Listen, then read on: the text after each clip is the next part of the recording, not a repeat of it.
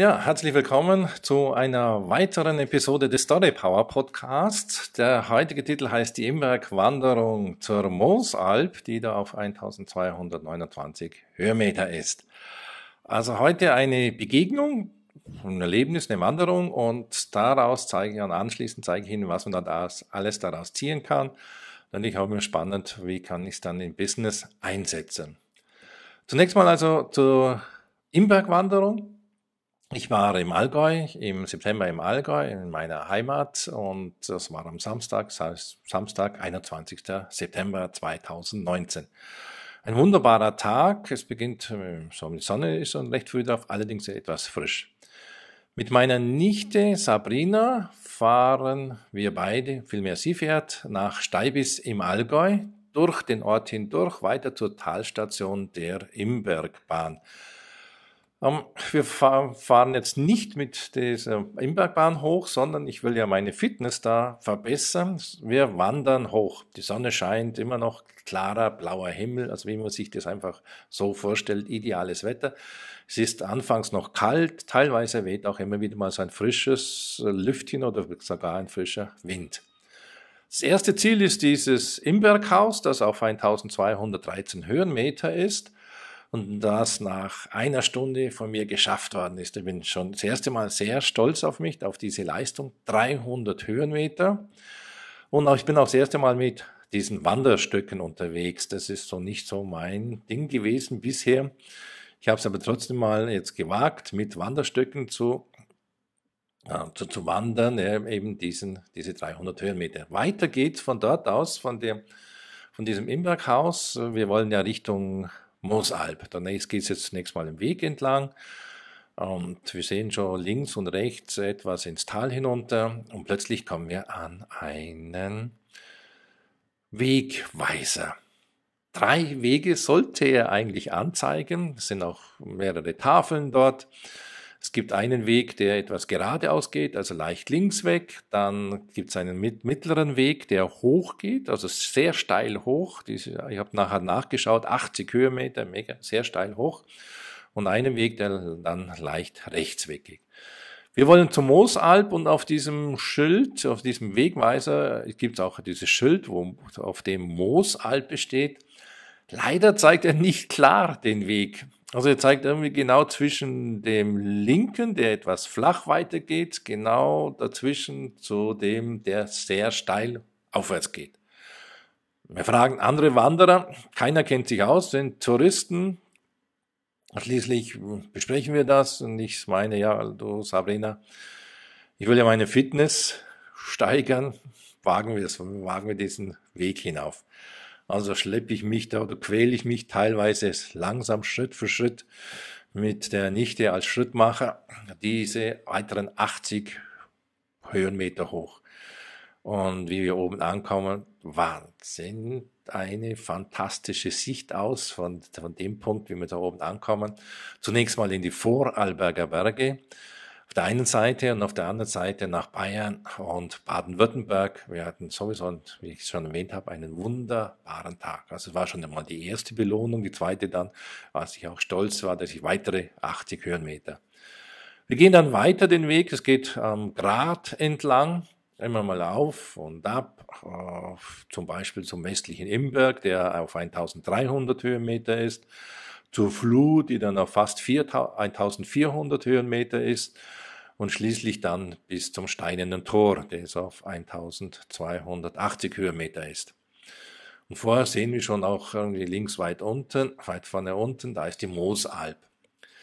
Wir steigen dann runter zum Moosalb und äh, nehmen Platz dann in der Moosalb und bestellen da unsere Erfrischungen, laufen dann oder gehen dann diesen ebenen Weg zurück.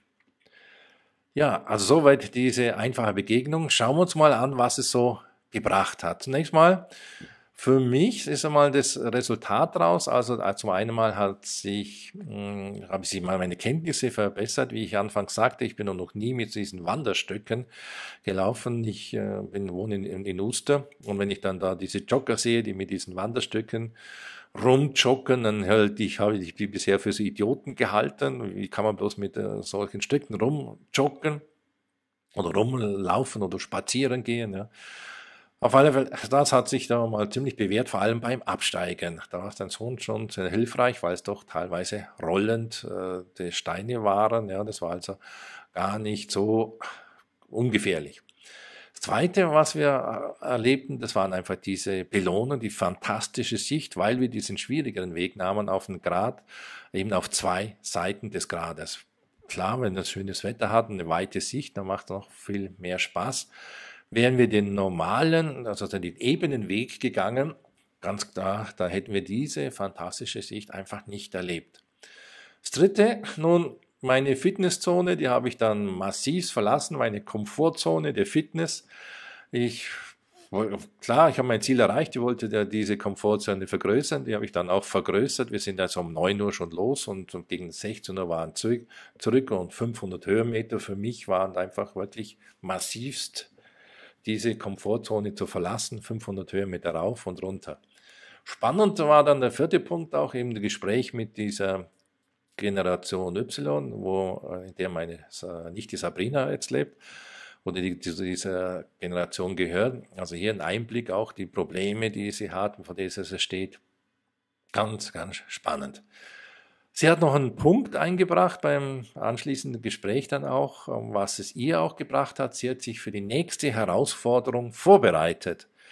Also weil wir diesen steileren Weg gingen, war es doch auch für sie etwas anstrengender. Und sie war dann ein paar Wochen später im Tessin, hat eine wirklich harte Tour mitgemacht. Und die hat äh, relativ gut überlebt, äh, aufgrund dieser Vorbereitung, ja, die sie eben mit mir gemacht, ja, mir, mit mir erledigt hat. Sie hätte dann vielleicht, äh, wenn sie das nicht gemacht hätte, vier Tage Muskelkater gehabt, so hat sie nur zwei Tage einen Muskelkater gehabt. Ja, also das waren so die, das, was man rausziehen kann. Kommen wir zum Business-Transfer. Ähm, wenn's, wenn man da halt das äh, verdeutlichen will, will ich, auf der einen, will ich auf der einen Seite Spitzenleistung erbringen oder normale Leistung. Und wir standen ja an diesem Wegweiser, da gab es einfach diesen einfachen Weg, geradeaus und eben diesen schwierigen. Und je nachdem, was ich halt, äh, was meine Zielsetzung ist, wähle ich auch den passenden Weg. Die Botschaft ist aus dieser kleinen Geschichte, beide Wege führen zum Ziel. Also dieser ebene Weg, relativ ebene Weg und die über diesen Grat, die Gratwanderung, beide führten zur Moseralp.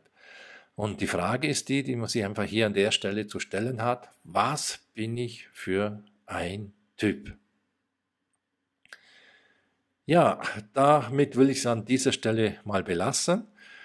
Also hier, so kann man das machen. Also auf der einen Seite eine ganz normale Bewegung, äh, Begegnung, ein Erlebnis, äh, das man so im Privaten auch erreicht hat. Und dann gucken wir, was kann man so hier fürs Business rausziehen, um den einen oder anderen Punkt eben zu verdeutlichen.